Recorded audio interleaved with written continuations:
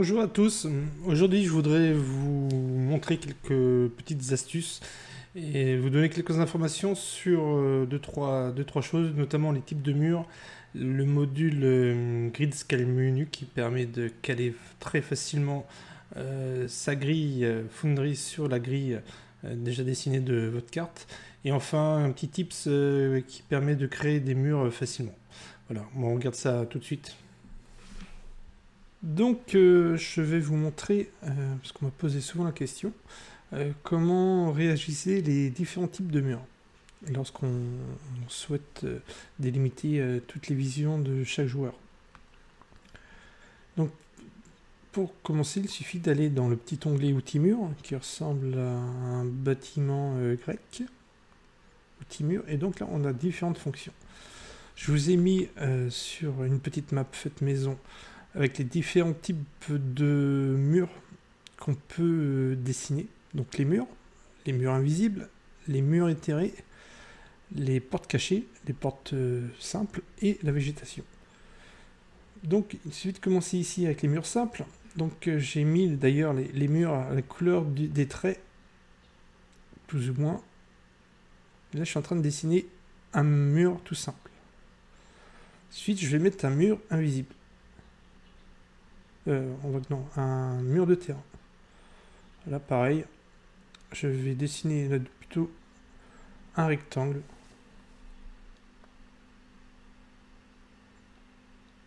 Hop. Et voilà. Je vais dessiner un mur invisible ensuite. Je vais mettre plus ou moins par ici. Voilà. Maintenant, je vais vous dessiner un mur éthéré. Alors, tout le monde, qu'est-ce que, la différence entre un mur éthéré et un mur invisible? Je vous expliquerai ça justement quand on, utilisera avec un joueur, en mode joueur, la différence entre une porte, donc une porte, qui sera symbolisée pour le joueur par un petit icône porte, pourra ouvrir et fermer. Et on va faire une magnifique porte secrète qu'on va mettre euh, ici. Hop. Voilà, je les ai un peu impeccable. Donc en fait, euh, juste pour et un mur, c'est un mur, donc on ne voit pas derrière le mur et physiquement on peut pas le traverser. Un mur invisible. C'est-à-dire qu'on voit à travers le mur, c'est comme s'il n'y avait pas de mur en fait, sauf qu'il y a une barrière euh, en fait infranchissable. Le joueur voit derrière, il ne voit aucune différence, mais par contre il ne peut pas franchir cette fameuse ligne bleue. Le mur terrestre, c'est l'inverse. On ne voit pas derrière, mais on peut traverser cette, euh, ligne d'horizon. Et du coup, on se retrouve derrière et on, retrouve la, vision de derrière une porte, bah, c'est une porte, on peut l'ouvrir et la fermer. Et la porte cachée, en fait, aura la, pour le joueur euh, la, même, euh, la même apparence qu'un mur. Il verra un mur, il ne pourra pas le traverser et il ne pourra pas euh, voir ce qu'il y a derrière. Donc c'est relativement assez simple. Et on va regarder ça tout de suite en se connectant avec un joueur. Donc me voilà connecté maintenant en mode joueur. Donc vous voyez tout de suite les, différentes visions qu'on a par rapport au mur invisible, mur éthéré, les portes cachées, portes, murs et végétation. Alors, mur, eh ben en fait, on, ne voit pas ce qu'il y a derrière ce mur et on ne peut pas le traverser. Au moment qu'on essaie de le traverser, petit message qui nous dit que le mouvement du token ne peut pas réaliser cette action, c'est-à-dire qu'il ne peut pas traverser ce mur. Ok? La végétation, en fait, vous avez remarqué, la végétation, on voit, on peut voir l'intérieur de la végétation, mais on ne voit pas derrière. En fait, imaginez des grosses broussailles, on, en, comprend le contenu, donc on, peut, imaginer facilement le contenu de cette végétation. Par contre, celle-ci cache la vue euh, derrière elle. Donc euh, voilà la vision de la végétation. Et la végétation, là pareil, on ne peut pas la franchir. Même message que pour le mur. Notre euh, petit personnage Bob Test voit voit rien. En fait, pour lui, euh, il a la vision de l'autre côté de ce mur invisible, qui est démité par ce, ce trait bleu. Par contre, au moment qu'il va vouloir progresser, parce que pour lui rien ne l'empêche, il va voir le message comme quoi il y a un mur qui l'empêche de, de progresser dans cette direction. Donc, c'est un mur invisible en fait, tout simplement. Ça l'empêche de continuer, bien qu'il ait une, vision euh, du, euh, derrière le mur. Le mur éthéré, euh, c'est exactement l'inverse du mur invisible. On ne voit pas derrière la, ligne enfin la ligne du mur éthéré. Par contre, on peut la franchir. Donc là, vous voyez, je suis vraiment en limite du mur. Et si je veux continuer à descendre, ben je peux. Et du coup, je me retrouve de l'autre côté du mur, qui lui pareil, me cache la vision euh, du coup euh, au nord du mur, mais je peux la traverser. L'intérêt de ce genre de mur euh, peut être utile lorsqu'on souhaite faire, comment dire, des illusions. Donc il y a un mur ou quelque chose, un faux mur, une illusion de mur, et la personne ben, s'arrête au mur, et si, elle souhaitait continuer, elle pourrait. Mais en général, s'ils ne font pas une, détection euh, qui va bien pour détecter que c'est une, illusion, elle va s'arrêter au mur et faire de rebrousser chemin. Une porte, c'est assez simple. Euh, elle voit du coup un petit icône, un petit icône de porte cachée. Enfin de porte, excusez-moi, de porte. En cliquant sur l'onglet porte, ça ouvre la porte et du coup la porte est ouverte et le personnage voit derrière la, derrière la porte. À tout moment, il peut décider de refermer la porte, qui referme sa vision, et de la rouvrir. La porte cachée, eh ben, c'est comme un mur en fait. Si la personne essaie de traverser, elle a un message d'erreur. Et si. Euh, et euh, elle ne voit bien sûr pas derrière. Seul, euh, seul le MJ peut, lui, a le, petit icône qui va bien, qui lui permet. Alors attendez, si je retrouve Funry, hop. Quand je me mets en mode jeu, vous voyez, le, le MJ voit l'icône de la porte cachée. C'est-à-dire que le personnage fait une recherche de, de passage secret, de porte cachée, et découvre en effet une porte cachée. Ben, le MJ peut à loisir lui ouvrir la porte il n'y a que lui qui peut l'ouvrir. Et à ce, moment-là, le joueur peut continuer sa progression vers la porte cachée. Je vais le remettre en, mode joueur pour vous montrer. Hop. C'est celui-ci. Voilà. Donc je suis en mode joueur. Ah, et je peux. Euh, je peux. Ah, j'étais en mode. Excusez-moi, j'étais en mode cible. Et je peux me déplacer à travers cette porte cachée. Et dès que le MJ en fait euh, referme cette porte secrète, porte cachée, euh, ben, le, pour le joueur, ça, revient, ça redevient un, mur. Alors voilà les petites explications assez simples, simplicisme, le dire, de comment fonctionne euh, la visibilité euh, et le fonctionnement de chacun des murs. Voilà. Là, je vais vous parler d'une chose qui me chiffonnait euh, énormément. C'était d'ajuster correctement la grille sur ma map. Je galérais avec les outils de base de Foundry et j'ai découvert, on m'a fait découvrir un petit module très sympathique que je vais vous mettre dans la description de, cette petite vidéo.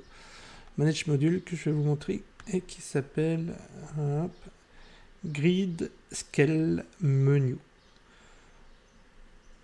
Il est d'une simplicité euh, déconcertante pour caler.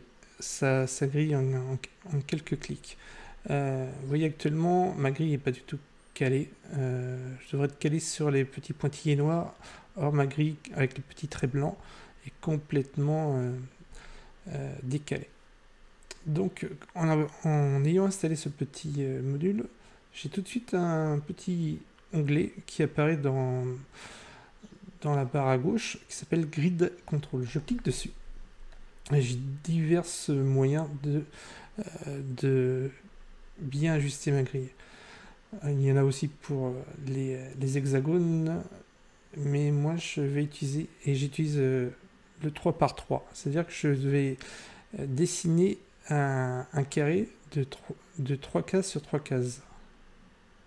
Vous allez voir, donc je me mets dans un point ici. Alors je euh, du coup 1, 2, 3, il faut que je descende un petit peu. Voilà, je me mettre ici. Je prends le point. Alors, attendez, hop.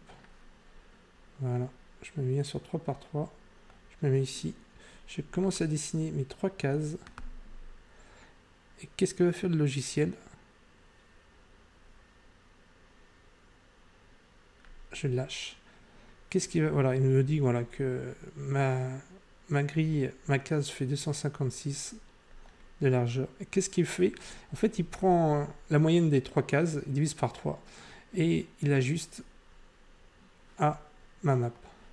Et là, du coup, je vais zoomer. Si vous regardez bien, mon trait blanc passe exactement sur les pointillés de ma, de ma map et je peux dézoomer. On peut descendre bien plus, bien plus bas dans la map. On va prendre un petit bonhomme. On va aller ici. Et vous allez voir ici, j'ai aucun décalage au, au, pixel près. Grâce à ce petit... Voyez, mes traits correspondent même à tout en bas de la map, exactement à ce que j'avais demandé. Voilà. En quelques clics, j'ai paramétré la grille sur ma carte. Voilà, donc euh, je vous conseille, excusez-moi, d'utiliser euh, ce petit module Grid Scale Menu qui est vraiment, vraiment, vraiment très utile et vous fait gagner un temps euh, considérable lors de, la création de map. Donc, petite chose aussi qu'on m'a demandé, et c'est vrai que à force d'utiliser, on, on, pense que c'est un automatisme, mais c'est vrai qu'au début, maintenant que j'ai, je me souviens, euh, je galérais. C'est à, créer les, faire les murs. Donc les murs, pareil, on va dans le petit onglet de la sorte de petite maison grecque outil mur, et je vais vous, on va dessiner un mur. Alors, si on n'a pas la petite astuce, ça peut être assez énervant de faire un, mur. Alors attendez, je vais mettre sur un mur tout simple. Si on clique, je vais faire assez, assez grossier, et on relâche, on a, on a un trait. Mais si on veut en faire un autre, et qu'on clique là pour repartir du même point, il nous redessine notre trait euh, à partir de la source du trait. Donc c'est béton. Donc on est obligé, ce que je faisais au départ, je reliais les points en faisant comme ça. Qui, euh, quand c'est une toute petite map, je dis pas, ça peut être euh, faisable, mais quand on a une comme celle-ci qui est quand même assez, assez cossue, une sorte de petit donjon assez sympathique, c'est très long. Alors mais en fait tout simplement, il suffit de, de cliquer ici, d'appuyer sur la touche CTRL de son clavier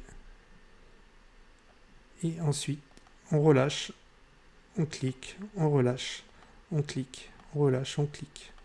Et du coup, ça va relativement très vite. Et une fois qu'on veut arrêter, le trait est toujours disponible. Il suffit de faire un clic droit. Et on peut repartir. Par exemple ici, je rappuie sur CTRL. Et je refais mon petit mur. Grossièrement, je vous l'avoue, c'est juste pour vous montrer et on peut faire plein de petits clics et ce qui permet de toujours relier les points. Hop, hop, hop, je vais m'arrêter là. Je fais un clic droit pour lâcher. Je vais faire un peu une petite porte. Bon, j'avoue là c'est pas terrible. Ma porte n'est pas aussi large. Je vais le faire comme ça. Et je vais retravailler sur mes points de mur je peux en fait passer dessus. Dès qu'il est, euh, il a grandi un petit peu en surbrillance, je peux, je peux le bouger. Je vais mettre, voilà ici, et celui-là, je vais le mettre dessus. S'il veut bien, voilà, bouger et se mettre, voilà. Pareil pour celui-ci, je vais le raccorder à la porte pour qu'il n'y ait pas d'espace et en visibilité, ce qui donne bien, on voit bien la porte qui s'ouvre et les contours des murs qui sont, qui sont dessinés. Voilà, donc c'est vraiment un, tout, petit, euh, petit, tout petit conseil, utilisez la touche contrôle lorsque vous faites des, des murs, notamment il y a beaucoup de, petites euh, aspérités à, dessiner. Voilà, voilà, c'était euh, le petit tips de fin de vidéo.